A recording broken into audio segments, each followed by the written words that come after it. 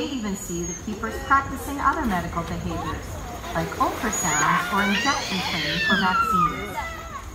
Some behaviors are more about having fun and are designed to further challenge the sea lions to think and act. Sea lions are naturally curious and playful, so the keepers may also use items like balls and tubes during the training session.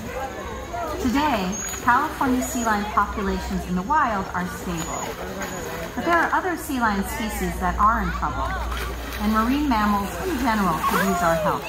The Wildlife oh, Conservation. Society is working to save wildlife and wild places around the world.